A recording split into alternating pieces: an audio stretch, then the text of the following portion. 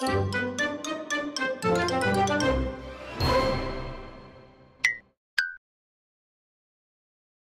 mừng các cậu đã quay trở lại với Westwood Cartoon. Adventure Time tuy đã kết thúc được khá lâu nhưng vẫn đang là một bộ hoạt hình yêu thích và được đón nhận. Chúng tôi cũng đã có rất nhiều video đi vào mổ xẻ những chi tiết nổi bật trong loạt series này. Trong video ngày hôm nay, hãy cùng quay ngược thời gian và tìm hiểu về sự khởi đầu và quá trình tạo nên loạt phim này nhé. Video này chúng tôi có tham khảo ở nhiều nguồn khác nhau nhé. Còn bây giờ thì vào với video ngay thôi. Let's go!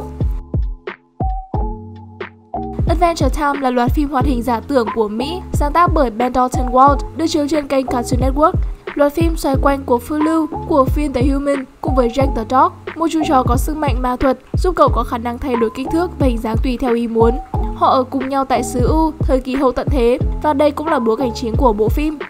Về ý tưởng, loạt phim này dựa trên một đoạn phim ngắn sản xuất năm 2007 cho dự án phim hoạt hình được ấp ủ của Nicktoons và Federator Studios tên là Random Cartoons. Sau khi đoạn phim ngắn này trở thành một hiện tượng lan truyền trên Internet, Federator Studios sau đó đã đề cử loạt phim Adventure Time lên Nicktoons Network nhưng bị từ chối tới 5 lần.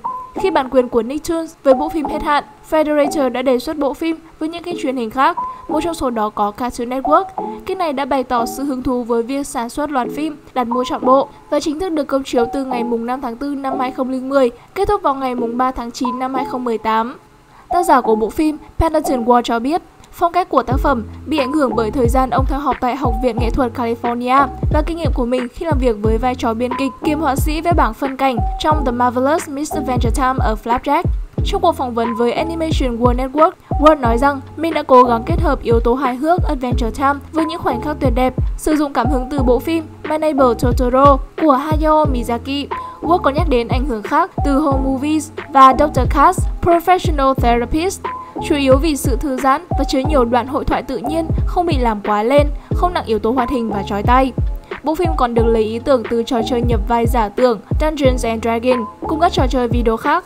Phim lấy bối cảnh thế giới tưởng tượng là xứ U ở thời điểm hậu tận thế trong tương lai khoảng 1.000 năm sau thảm sát hàn nhân có tên gọi Cuộc chiến nấm The Great Mushroom War. Theo tác giả Watt, câu chuyện trong phim diễn ra sau khi những trái bom phát nổ và phép thuật xuất hiện trở lại. Trước đó, Watt dự định xứ U chỉ đơn giản là một nơi thần kỳ, nhưng sau khi sản xuất tập 8 mùa 1 Business Time kể về một khối băng trôi chứa các doanh nhân nổi lên giữa hồ nước, bộ phim chính thức xác định thời điểm hậu tận thế của mình. Watt sau này mô tả bối cảnh phim là vùng đất ngọt ngào, bao bọc những thứ đen tối. Nhấn mạnh rằng ông chưa bao giờ dự định để cuộc chiến nấm và yếu tố hậu tận thế lấn át chủ đề của phim. Và yếu tố hậu tận thế cũng ảnh hưởng từ một bộ phim khác từ năm 1979 có tên là Mad Max. Bộ phim chứa các yếu tố thần thoại kinh điển, câu chuyện bao trùm vào hồi tưởng, được mở rộng trong nhiều tập phim khác nhau. Yếu tố thần bí chủ yếu xoay quanh nguồn gốc cuộc chiến nấm, sự kiện đã sinh ra nhân vật phản diện chính của phim, The Lich, cùng hồi tưởng của vài nhân vật chính và phụ xuất hiện lặp lại vài lần trong phim. Watt từng nhấn mạnh rằng chi tiết về cuộc chiến nấm cùng sự thần bí u tối của phim tạo nên một câu chuyện đáng để kể. Nhưng ông cũng cảm thấy phim sẽ có thể tốt hơn thế nữa nếu nó xen lẫn một chút với quá khứ đầy biến động của xứ U. Vì không muốn bộ phim trở thành một one hit wonder là tác phẩm nổi tiếng nhất thời, Cartoon Network đã yêu cầu Walt nộp bản thảo nháp để xem xét. Walt cùng người bạn thời sinh viên của mình, Patrick McHale và Adam Muto đã bắt tay vào lên ý tưởng và sản xuất. Sản phẩm đầu tiên của nhóm là kịch bản về Finn và công chúa Bubblegum trong Spaghetti Super Ted. Cartoon Network đã không thỏa mãn với câu chuyện này, do đó nhóm viết lại câu chuyện thành tập phim The Inkiridian, một nỗ lực của nhóm trong việc tái tạo lại phong cách của phim ngắn gốc từng chiếu trên Nicktoons. Chiến thuật này hiệu quả và Cartoon Network đã chấp nhận mùa thứ nhất vào tháng 9 năm 2008. The Inkiridian là tập đầu tiên được sản xuất. Trong quá trình sản xuất, Cartoon Network vẫn băn khoăn về hướng phát triển của loạt phim mới này. McHale kể lại trong lần đề cử tập phim Brothers in Insomnia đã bị hủy vì nhiều lý do, tràn ngập căn phòng toàn các điều hành viên của Cartoon Network. Buổi đề cử đã thành công, nhưng đoàn sản xuất ngay sau đó bị ngợp trong các câu hỏi về tính nghệ thuật của bộ phim. Cũng trong khoảng thời gian này, Cartoon Network đã đình chỉ việc sản xuất bộ phim để giải quyết các vấn đề sáng tạo đó. Một số các nhà biên kịch và hoạt họa bị ban quản lý Cartoon Network thay thế bằng ba nhà hoạt họa kỳ cựu của SpongeBob SquarePants là Derek Drymon, đảm nhiệm vai trò điều hành sản xuất trong mùa 1 của Adventure Time, Meriwether Williams đảm nhận vai trò trưởng nhóm biên tập truyện trong mùa 1 và 2 của phim, và Nick Jennings, người trở thành đạo diễn nghệ thuật lâu dài cho bộ phim. Đặc biệt là Drymon, người đóng vai trò trọng yếu trong việc đảm bảo Cartoon Network và đoàn làm phim luôn cùng nắm rõ hướng đi của bộ phim. Thurop Van Allman, tác giả của The Marvelous Misadventures of Flapjack, cũng được thuê để hướng dẫn Watt và nhóm của ông trong hai mùa đầu tiên. Và cuối cùng, câu chuyện của Prisoners of Love đã xoa dịu nhiều lo lắng của một số giám sát ở Cartoon Network. Trong 4 mùa rưỡi của phim, Watt đảm nhiệm vai trò tổng đạo diễn của Adventure Time. Khi phỏng vấn với tờ Rolling Stone, Watt tiết lộ mình từng vài lần xin từ chức trong quá trình sản xuất mùa năm. Là một người hướng nội, ông cảm thấy việc giao tiếp và chỉ đạo mọi người hàng ngày khiến mình kiệt sức. Sau khi Watt từ chức, Adam Muto trở thành tổng đạo diễn mới cho phim. Đến cuối năm 2014, Watt trở lại tiếp tục công việc họa sĩ, phát thảo và viết cốt truyện. Sau tháng 11 năm 2014, ông ngừng đóng góp cho các tập phim nhưng vẫn theo dõi câu chuyện, thỉnh thoảng đưa ra một vài lời khuyên và phát thảo.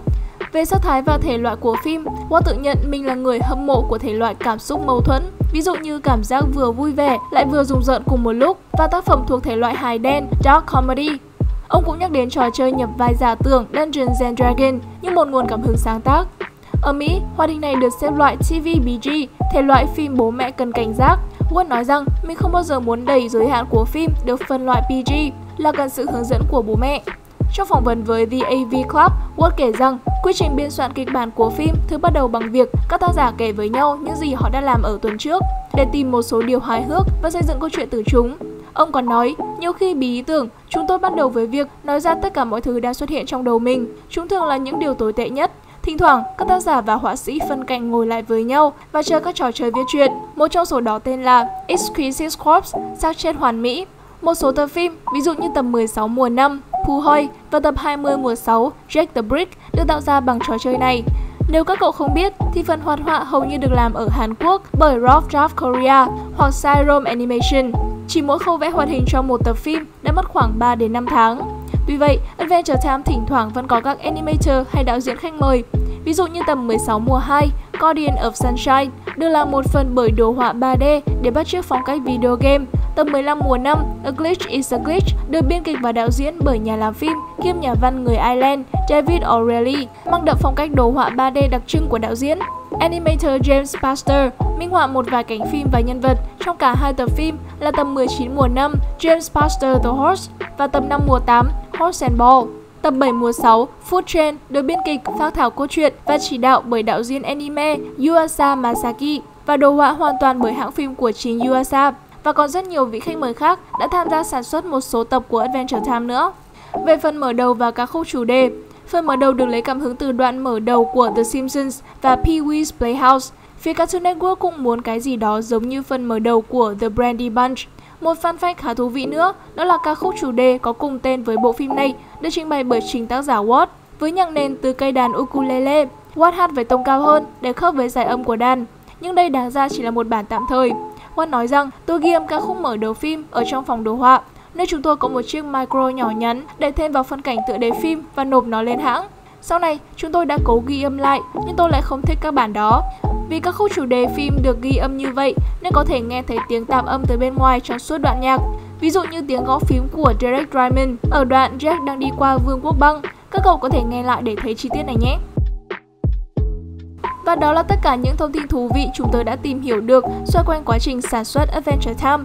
Chắc chắn vẫn sẽ còn những thiếu sót, vậy nên nếu biết thêm điều gì hay, các cậu hãy bình luận ở phía dưới nhé. Cảm ơn các cậu đã xem hết video này. Wish you out.